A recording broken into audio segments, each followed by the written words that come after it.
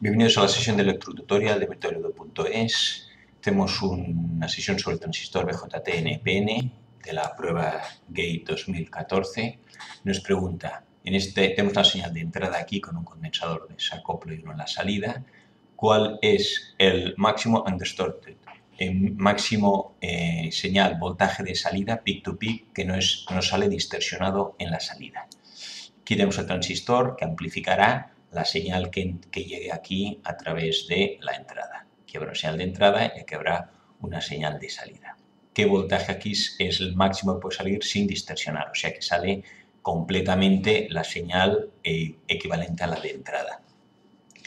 Y entonces lo que tenemos es, aquí esto es 12 voltios, nos dice que beta es muy grande. Beta muy grande significa dos cosas, más o menos que la intensidad de colector es aproximadamente igual a la intensidad de emisor, la que viene por aquí o aquí, o lo que es lo mismo que la intensidad de base es despreciable.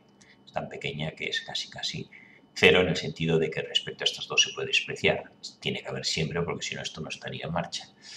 Entonces aquí, ¿qué voltaje tenemos en la entrada? Voltaje en la base del transistor. Esto es un divisor de tensión, 12 voltios, 5K y 10K tengo que el voltaje en la base del transistor es el voltaje total 10 por el divisor de tensión. Resistencia de abajo 10K entre la suma de las dos, 15, 15K.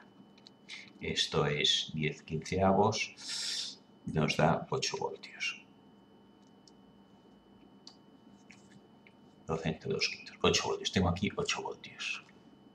Sabemos que la caída voltaje base emisor es 0,7, por lo tanto aquí 8 menos 0,7, aquí tendré 7,3 voltios. 7,3 voltios. Entonces, si aquí no hubiera ningún tipo de señal en la entrada, aquí tendré 7,3 voltios, que es el voltaje en la salida. O sea, aquí ponemos esto aquí, voltaje out, voltaje en la salida, y lo centramos no en el 0, sino en el 7,3 voltios. Aquí es lo que marcaría, si no hay señal en la entrada, aquí tengo los 7,3 voltios. Eh, y a medida que aquí pongo una señal, aumentará la intensidad de base, aumentará la corriente y el voltaje en la salida irá subiendo o bajando. ¿Cuál es el máximo? Eh, aquí nos dice que el voltaje saturado es 0 voltios, o sea que cuando esto está saturado, aquí caen 0 voltios. Normalmente calculamos 0,2, pues 0,0 voltios.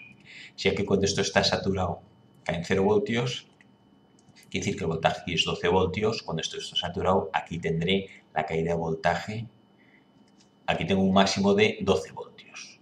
Tengo 12 voltios. Cuando está saturado significa que, no amplifica, amplifica en la zona activa, que es cuando aquí el voltaje C amplifica en la saturación, pero ya no, ya no depende del voltaje de entrada, aquí hay un voltaje C. Si aquí tengo 7,3 voltios y aquí tengo 12 voltios, el voltaje C cuando esto es 7,3 voltios es 12 menos 7,3. 12 voltios hay arriba menos 7,3 igual a 4,7. El voltaje C es 4,7 voltios. Este sería eh, cuando no hay cuando no hay aquí ninguna señal. Tengo 7,3 voltios y el voltaje que hay aquí es 4,7 voltios. Entonces tengo aquí el voltaje en la salida, vamos a poner aquí dibujar el 12 voltios. Esto lo voy a quitar de aquí. Aquí ponemos voltaje out. Y aquí tengo los 12 voltios. Entonces, ¿qué tenemos aquí? El máximo de voltaje que puede crecer esto de aquí, cuando esto valga 0 voltios, que es cuando esté saturado, aquí tendré que esto, eh, la señal está, si tengo 12 voltios, habrá bajado, eh, aquí tendré 12 voltios, que será el máximo. En lugar de 7,3 tendré 12 voltios. O sea que 4,7 voltios es el máximo de señal que puede crecer. La señal está de 7,3, puede ir a un máximo de 12. Y eh, a la vez, para si la señal es simétrica, si aquí estoy subiendo 4,7 voltios, para que sea simétrica, por el otro lado me tiene que salir también de 4,7 voltios. Aquí tendré que restar 7,3 menos 4,7. 7,3 menos 4,7 7,3 menos 4,7, 2,6. Esto llegaría a 2,6 voltios. ¿Cuál es el voltaje, nos pregunta, sin distorsionar en la salida máximo que puede haber? Pues es esto de aquí, que es 4,7 y 4,7, el doble es 9,4 voltios. El voltaje en la salida sin distorsionar puede ir de 7,3 voltios, que es el valor medio, según la corriente que llegue puede subir 4,7 hasta 12, que sería el máximo, y como es simétrica puede bajar otros 4,7 respecto a la señal media para que no salga distorsionada.